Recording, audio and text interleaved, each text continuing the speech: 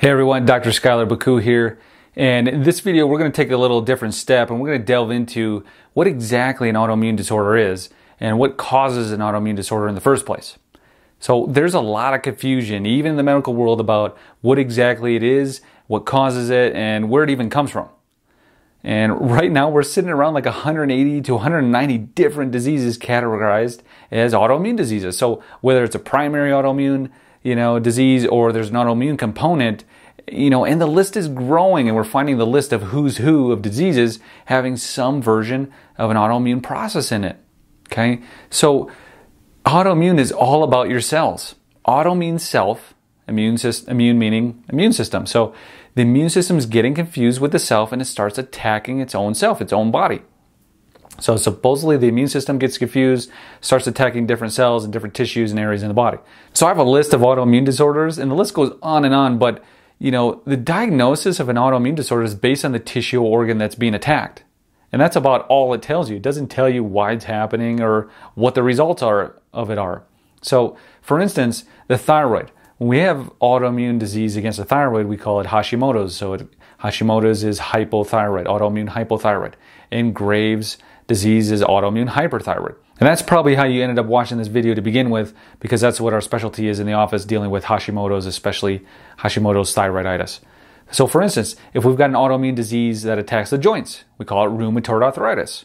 Okay? If the autoimmune disease is attacking your connective tissue, it's called lupus.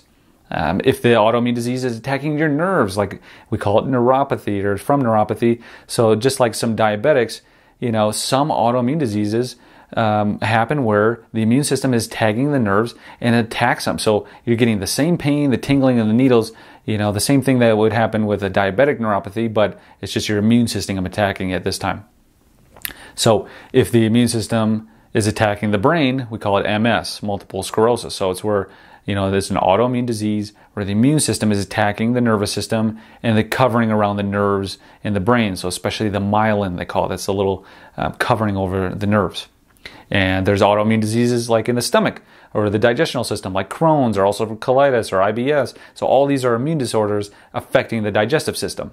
And so, remember, the way we're naming an autoimmune disease or the way autoimmune diseases are classified as based on the tissue that it's attacking, and it's nothing beyond that. So the pancreas, for instance, is another another common one. So type 1 diabetes, where you're either born with it or a lot of times you get it at an early age, it's where the immune system is attacking the pancreas cells, and that's why it doesn't make enough insulin. So that's how it becomes insulin dependent where you need a pump or a shot to get your insulin in. But again, the reason is because the immune system has destroyed those cells that make insulin. So as opposed to like type 2 diabetes, where you're insulin resistant, so your body's still making insulin, but your cells have just become resistant to taking it in.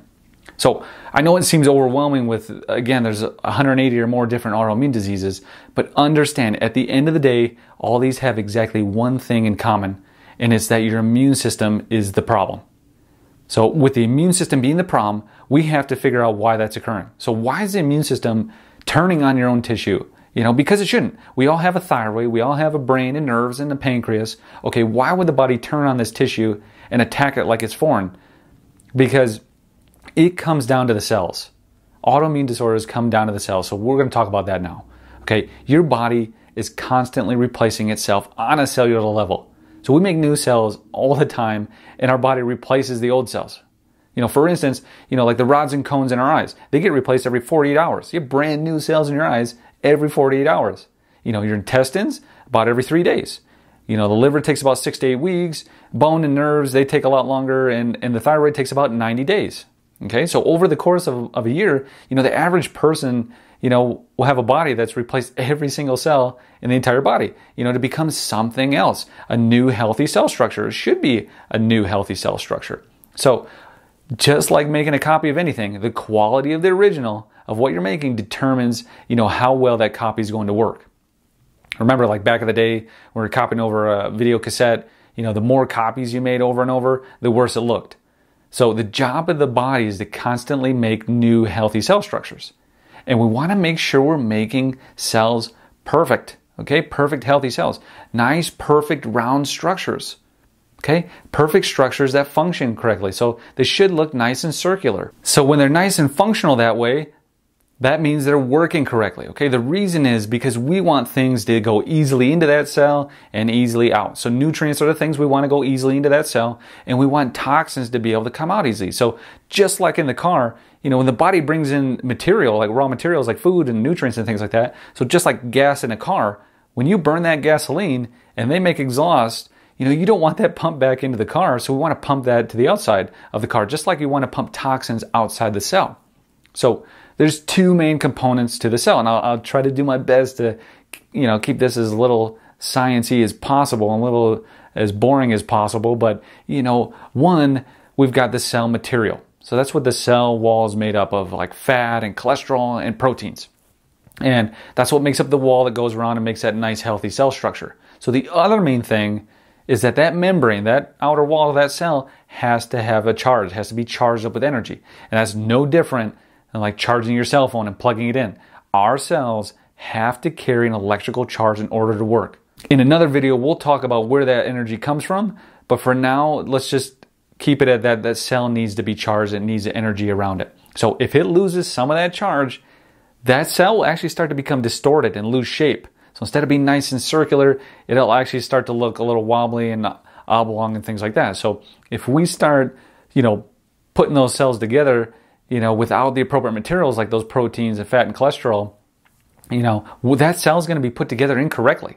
So it's just like building a house. You know, if you need wood, but all we have is plastic, well, you can, you know, you can put that together, but it's not going to be correct and it's not going to be sturdy and you're going to have a problem. So the cell will actually start to misshape. And just like I said, it'll, it'll even flatten out. It'll have an odd structure. So what happens is those cells start to go out, that oblong, odd looking shape and cell, that's the one that's going out and replacing all of our body parts and our organs. And the other thing that happens, we can see this on live blood cell analysis, those cells actually like to come and stick together. Okay, they start stacking on each other. They start clumping together. Um, some, it's called a rouleau formation or coin, coin stacking formation. Again, we could see that on um, live blood cell analysis. But you know, for example, let's you know let's use the thyroid. So let's say you know we're replacing thyroid cells, and let's say 10% of the thyroid is now replaced with these odd mutated cells, and because that's that's what a mutated cell is. It's a cell that's odd, oddly shaped. The structure has changed. So you know 10%, well, no big deal, but then, okay, 20% of the thyroid, 30, 40%. But once it reaches, let's say like 51%, you know, 51% of the cell structure of the thyroid is now made up with these mutated cells. Well, that's what the immune system recognizes. And again, the one the, the immune system recognizes and has on file is that nice round healthy cell. So once the cells and enough of the thyroid cells start to look different enough, and once that happens, the immune system says, whoa, I don't know what that is, but those don't look at like us. Those are mutated. Let's attack it. Let's kill it. And so you see, the body makes damaged cells all the time, you know, and the immune system recognizes it and cleans them up, and, and it does that all the time. That's its job. It cleans up those mutated cells. But if the mutated cells are now what your body is putting out there and it's not putting it out there mistakenly, you know, this is what the body is outputting because it doesn't have enough energy or the right materials or both to do that. And what happens is these are the cells that are now the building blocks of what your body is being made out of and what it's replacing your organs and all your tissues. And so once enough of that is replaced, now all of a sudden we have a big problem. You see, some people ask, what happened when I turned 30 or about two years ago when I got sick, you know, and all this started happening and my health started going downhill. Well, it's, it's not about your age or anything like that. You just hit that threshold where enough of those cells, those bad cells showed up where the immune system says, I don't know what that is. I don't like it. It's not supposed to be here. We shouldn't have mutated cells, okay? And so it literally thinks that half of your, let's say that, again, if we go back to the example of the thyroid, it thinks half of that thyroid is made up of those cells as a tumor because that's all a tumor is. It's a bunch of mutated cells clustered together. So the immune system starts to kill it. So when I say there's confusion in the immune system, it's not confused. It's not actually confused. We now know this, and I know a lot of doctors you know, will disagree on this, you know, but we now know the immune system is just trying to help you. You know, it thinks it's helping because it's killing mutated cells, and that's part of its job. But unfortunately, over the course of time, while it thinks it's helping, it's also actually damaging those tissues that we're seeing there being affected. And here's the big deal with autoimmune. For 50% of the people, by the time we find out we have an autoimmune condition, so say we find antibodies against the thyroid, the immune system is already attacking somewhere else and something else. So remember, once the body starts making abnormal cells, that's going to affect everywhere, not just the thyroid. Again, 50% of the people, it's already attacking somewhere else by the time we find out it's attacking the thyroid. In the medical realm, if you have Hashimoto's, you know, if you've got low thyroid, you're not going to be feeling well. It's going to make you feel really sick. You're going to uh, be massively affected, and your quality of life is going to be affected by this. So their thought process is, well, you know, you can live without your thyroid, so why don't we just take it out? Okay, and then we can just replace it, you know, with some form of synthetic thyroid hormone, you know, from the outside. And the problem with that is twofold. Okay, just because you take the thyroid out does not make the Hashimoto's go away or the autoimmune condition go away. Your immune system is reacting to thyroid hormone. So whether your body makes it or you take it synthetically or natural, if your immune system has tagged those as a problem, it's still going to attack that hormone even if the tissue's not there. So you don't just automatically get rid of the Hashimoto's just because you take the thyroid out. And second, you're losing the forest through the trees here because the thyroid, you know, maybe it's not life threatening, but you know, if it starts attacking your heart or your brain or your kidneys, you know, those are much higher leverage organs. And if that happens, we've got an even bigger problem. But again, it's still wrapped around the issue that we have an immune system problem. It will be the challenge that someone ultimately faces is that autoimmune problem. So, you know, maybe not with the thyroid, but ultimately in their lifetime, they're going to have to come across and deal with that autoimmune condition. You know, and another thing we hear a lot about autoimmune is caused by toxins and infections, you know, and it's actually not caused by those things, but yes, they do play a big role.